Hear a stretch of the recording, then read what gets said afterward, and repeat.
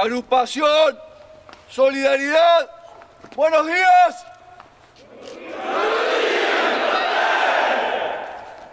Acá estamos. Acá estamos en un proceso que empezó hace un largo año. Hace un largo año empezamos las reuniones previas para llegar a este momento, donde casi mil hombres y mujeres de nuestras Fuerzas Armadas argentinas y chilenas están en su ciudad, Brunila. Y desde ya, Brunila, a usted, a todo ese equipo, le quiero expresar mi más sincero agradecimiento por el recibimiento, por la calidez y por toda la colaboración que ustedes están dando. Desde ya, en nombre de todas las Fuerzas Armadas argentinas y chilenas, muchas gracias a usted y a su equipo. A ustedes, señores, que estamos acá en el ejercicio solidario 2016, ejercicio de apoyo a la comunidad, ejercicio el cual tratamos de practicar procedimientos y hábitos para atenuar los efectos de una emergencia natural en la población.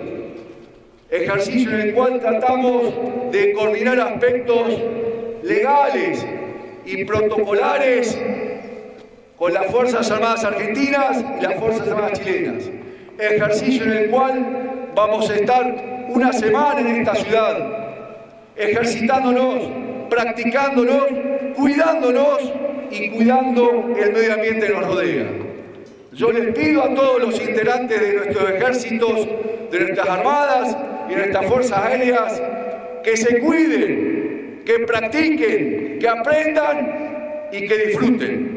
Ese es el principal objetivo de este ejercicio, aprender y practicar y conocernos un poco más. Disfruten la vida militar, es única e irrepetible. Cuídense y su trabajo es importante.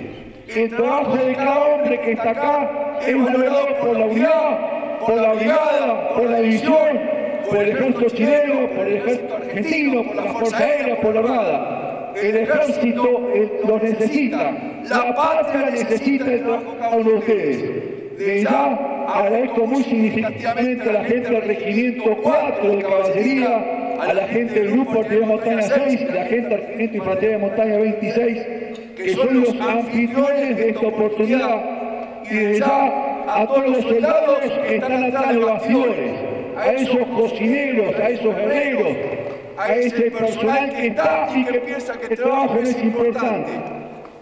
Todos los trabajos son importantes. Yo tengo un rol y cada soldado tiene un rol que cumplir. No es más importante el mío ni menos importante el de ellos. Si todos lo cumplimos con total eficacia y total compromiso, esto va a salir 100 puntos. Es nuestro deseo y nuestro objetivo. Agrupación firme. Al hombro, al. Agrupación. Subordinación y valor. ¡Viva la patria! ¡Viva!